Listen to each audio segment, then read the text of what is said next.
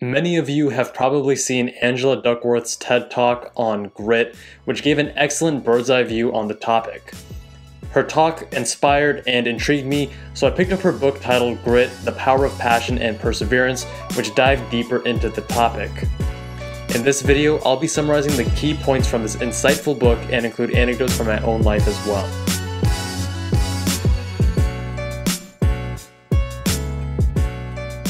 What's going on, guys? Jay from MedSchoolInsiders.com. For those of you who are new to this channel, my name is Jay and I just started plastic surgery residency. You can learn more about life behind the scenes on my Instagram. Link is in the description below.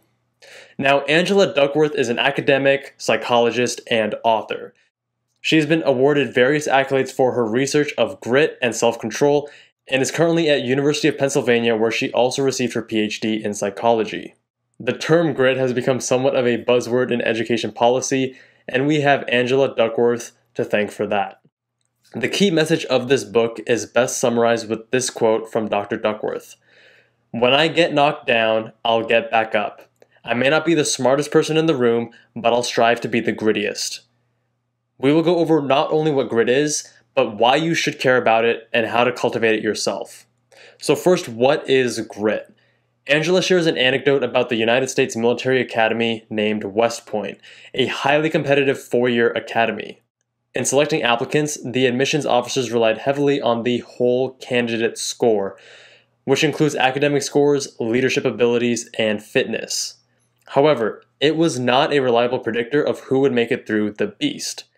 Beast Barracks, formerly known as Cadet Basic Training, is a seven week process that turns people accepted into West Point from civilians into cadets.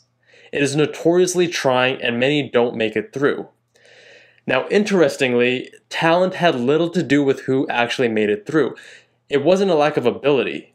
Rather, they had the wrong attitude. Those who made it through consistently demonstrated a never give up attitude. Angela goes on to explain that the highly accomplished in any field were paragons of perseverance, meaning they were a perfect example of someone who is doggedly determined and does not give up. What's the reason that these people were more likely to be successful? There was no realistic expectation of ever catching up to their ambitions. In their own eyes, they were never good enough. They were the opposite of complacent, and yet they were still satisfied with being unsatisfied. Each was chasing something of unparalleled interest and importance. And it was the chase as much as the capture that was gratifying. Even if some of the things they had to do were boring or frustrating or even painful, they wouldn't dream of giving up. My video on how to love the process goes into exactly this. Check out the link above. The highly successful had an insatiable determination that manifested in two ways. First, they were unusually resilient and hardworking. And second, they knew in a very deep way what it was that they wanted. It wasn't just determination, but also direction. This combination of passion and perseverance made high achievers stand out from everyone else. In a word, we say they have grit. And grit has two components passion and perseverance. Dr. Duckworth created the grit scale to measure grit and associate it with outcomes. On the grit scale, half of the questions are about perseverance and the other half are about passion. At West Point, the grit scale was the single best predictor, much better than the whole candidate score, at predicting who would make it through the beast. Here are some other examples. Those who scored higher on the grit scale were more likely to graduate high school on schedule. They were more likely to perform better at spelling bees. Spelling bee outcomes were more closely tied with grit than they were even with verbal intelligence. If you do want to take the grit scale for yourself, I've included a link in the description below. Be as honest as you can with yourself, and it will point out areas of strength and weakness. Check it out, it is a lot of fun.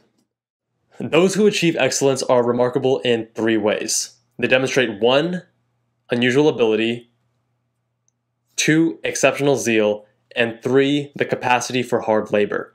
Now you may say, but your intrinsic abilities are not limitless. Not all of us could be Elon Musk, even if we worked our butts off. That is true, we do have limits. Trees don't grow into the sky. But the boundaries of where we will ultimately stop improving are irrelevant for the majority of us. Most of us never even get close. National surveys have demonstrated that most Americans believe that effort is more important than talent. However, studies have shown that we have a bias that points in the opposite direction. We love naturals. In one study, subjects listened to a short clip of individuals playing a piano. The listeners do not know, but it is the same pianist and the same piece, just different segments. They are told that one pianist is a natural and the other is a hard worker with great deals of motivation and perseverance. The natural pianist is consistently judged as more likely to succeed and more hireable. So, what's the problem with our preoccupation with talent? By shining our spotlight on talent, we risk leaving everything else in the dark. We essentially tell ourselves and others that other factors, including grit, don't matter as much as they truly do.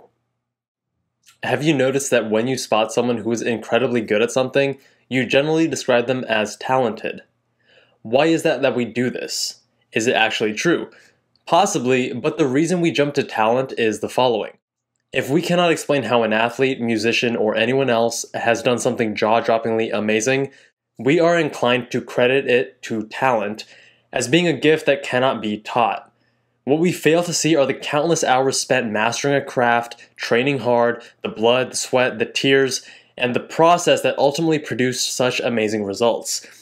Greatness is the sum of several individual feats, and each one of them is doable.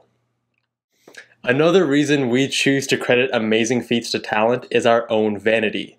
That's right, it's because of our own obsession with ourselves and our own limiting beliefs. This quote sums it up best. Our vanity, our self love, promotes the cult of genius. For if we think of genius as something magical, we are not obliged to compare ourselves and find ourselves lacking. To call someone divine means here, there is no need to compete. In other words, talent lets us off the hook. It lets us relax into the status quo. But it's important to remember that talent is not everything. In fact, talent is just a small part of the equation. Talent is how quickly your skills improve when you invest effort. Achievement is what happens when you take your acquired skills and actually use them. Angela Duckworth summarized this point with the following equation for success which is based on her years of teaching, coaching, and research. So, talent times effort equals skill. Skill times effort equals achievement. So, therefore, talent times effort squared is equal to achievement. So, talent, how fast we improve in a skill, absolutely matters. But effort factors into the equation twice. Effort not only builds skill, it also makes the skill productive. So with this equation, someone twice as talented but half as hardworking as another person might reach the same level of skill but still produce dramatically less over time.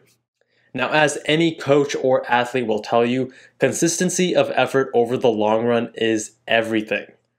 Woody Allen said that my observation was that once a person actually completed a play or a novel, he was well on his way to getting it produced or published, as opposed to a vast majority of people who tell me their ambition is to write, but who strike out on the very first level and indeed never write the play or the book. You may know his quote, which sums this up quite nicely 80% of success in life is showing up. Another brilliant quote from Will Smith. The separation of talent and skill is one of the greatest misunderstood concepts for people who are trying to excel, who have dreams, who want to do things. Talent you have naturally. Skill is only developed by hours and hours and hours of beating on your craft. Angela Duckworth adds that skill is not the same thing as achievement either. Without effort, your talent is nothing more than your unmet potential. Without effort, your skill is nothing more than what you could have done but did not.